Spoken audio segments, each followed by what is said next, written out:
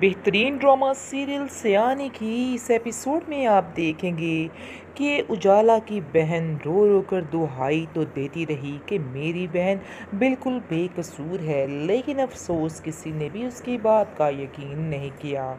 लेकिन आप देखेंगे कि वो अब कहेगी कि जब मैं कह रही थी कि सब कुछ झूठ था, लेकिन आप लोगों ने मेरी एक बात नहीं सुनी है।